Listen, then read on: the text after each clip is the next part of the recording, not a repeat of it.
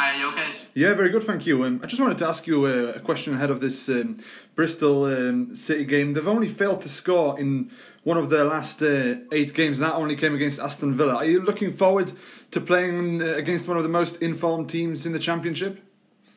Yeah, I think I think every player likes a battle. Um, like like I said before, there's there's no easy game in the Championship.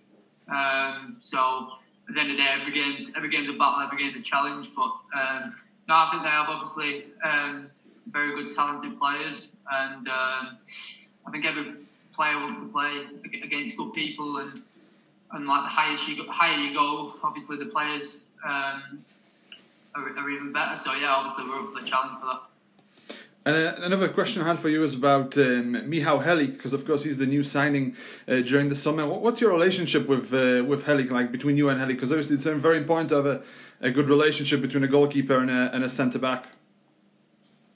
No, I think he's um, I think he's settled in really well. Uh, um, me and, and Michał have, have, quite a few conversations off the pitch as well as on the pitch, uh, just to make sure he's settled in in really well. Um, so yeah, as, long as he feels um, comfortable, uh, and then we just have a little, little chats just to, to, kind of see, obviously, like language differences, um, just to make sure he understands my really broad accent.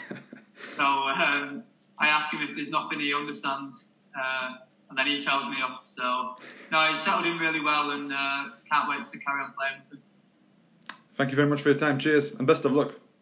Thank you.